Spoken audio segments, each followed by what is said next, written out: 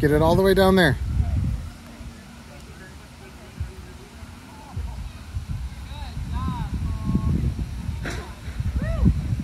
You're a rock star, dude.